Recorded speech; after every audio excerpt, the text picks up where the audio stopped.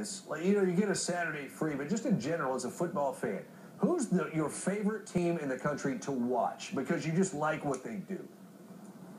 Gotta go with Oregon. Yeah, I thought you might. I thought you Gotta might. go That'd be Oregon. fun. That, that'd be fun to be a part of that. Yeah, watch it. Oh, for sure. This, I mean, it's just watching the explosive team.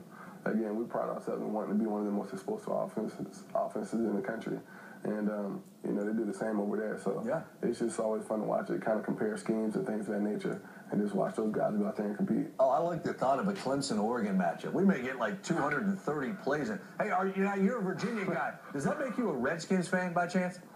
Not at all. I didn't grow up a Redskins fan. I actually grew up a Falcons fan. Oh. Um, and uh, you know, I'm a big supporter of Michael Vick, man. So I was- Okay, I was excited to watch that. Chip Kelly look amazing out there, and it was fun watching those guys. Yeah, that's what I was going to ask you. I, I didn't know if the Eagles beat your team or, but yeah, that makes sense. Vick, a, Virginia guy as well. You you, you mm-hmm. you enjoyed watching Chip. Oh yeah, boy, that was special. It what they did? It was. It was uh, something else. And man, those guys were gassed over there, and uh, you can just see football evolving right before your eyes, and uh, it was just unbelievable.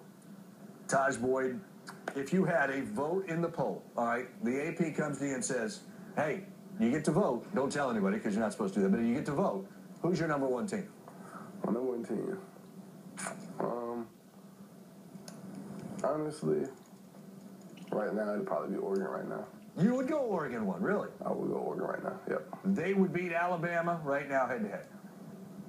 I didn't say I didn't say Clemson. I didn't say Clemson. I didn't say they'd beat Clemson. Um, I don't know. Again, it's just different. Um, we've seen the, the matchups with Oregon and Auburn and things of that nature, but I mean, it's just a, a different team. It's just a different setting, and uh, I mean, those guys don't make too many mistakes out there when you watch them play.